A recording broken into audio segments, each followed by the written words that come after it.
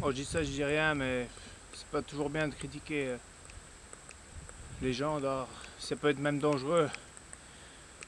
Ouais, les filles, par exemple, avec leurs fossiles. Ah bah ouais, mais il y a des garçons aussi avec des fossiles. Alors, vaut mieux pas les embêter, quoi. Hein Arrêtez de vous moquer.